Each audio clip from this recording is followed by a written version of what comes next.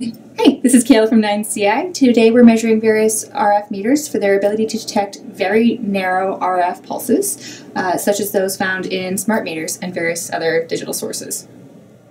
For this test, we'll be using the HP8341 RF signal generator uh, that can cover from 10 megahertz to 20 gigahertz. Uh, since we're not comparing these meters for power measurement accuracy on this video, uh, we'll keep the test frequency of of 2.4 gigahertz um, and the power level of plus 10 dBm. Uh, we'll keep that the same for all these tests.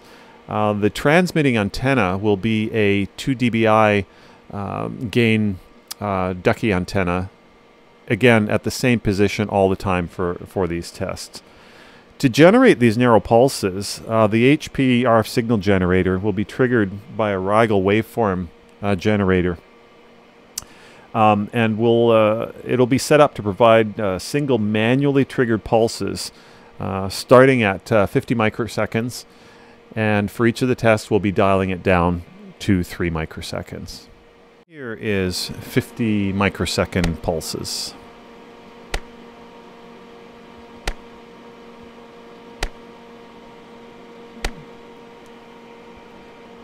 Now 25 microsecond.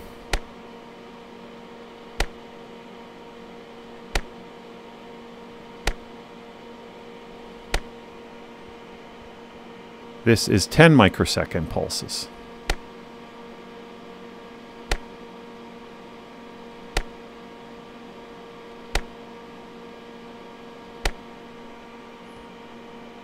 And now 5 microsecond pulses.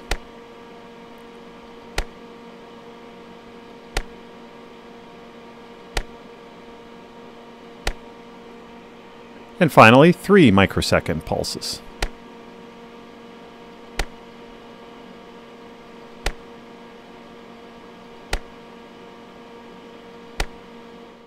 And now we're looking at the uh, AM10 Acoustimeter, 50 microseconds.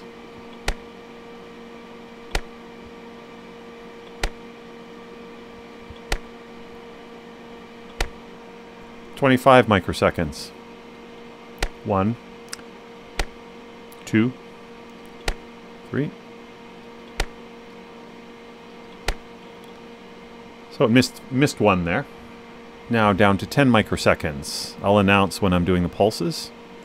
That was one. That was two. Three. Four. Five.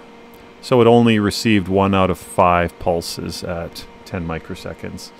Uh, I will not go down to 5 and 3 microseconds because this meter will not be able to measure those narrow pulses. Okay, now we're using the cornet and we're at 50 microsecond pulses.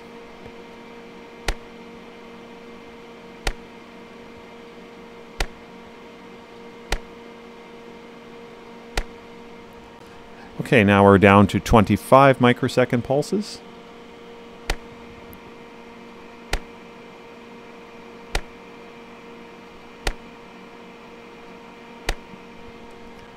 This is 10 microsecond pulses.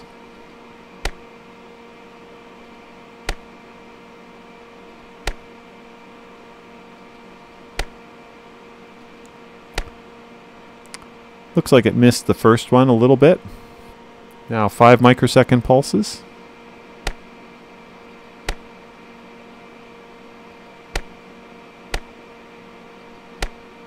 It's showing pulses, but uh, I'm not... There it registered something. Yeah, so those pulses are showing, but they're they're very low in amplitude. And here's three.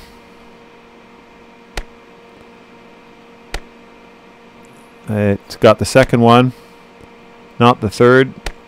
It got the fourth one.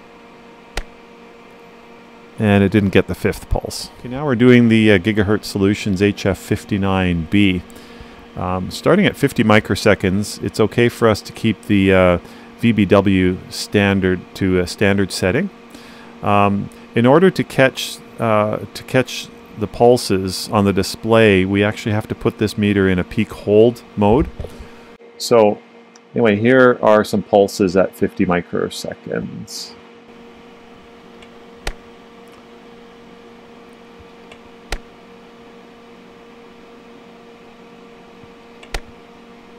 And in between, if you want to clear the value, you have to push the clear button. But anyway, it's catching all the pulses at 50 microseconds. Uh, now, uh, to measure narrow pulses, uh, we have to put it into VBW maximum mode. Um, and we have to clear the, the peak hold value. Uh, for the gigahertz solutions meter, anything under 33 microsecond pulses have we have to manually switch modes. So here's 25 microsecond pulse pulses.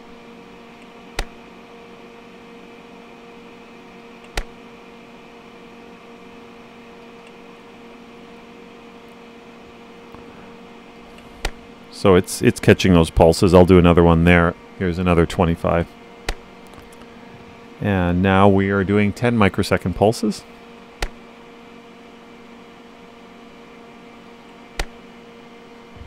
Do another clear in between here. So yeah.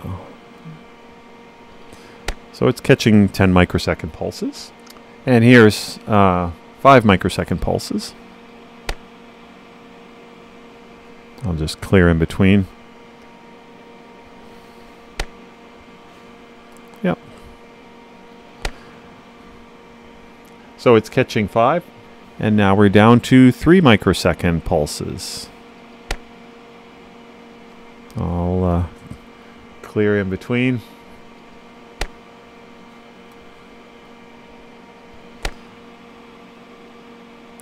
So good for 3 microsecond pulses.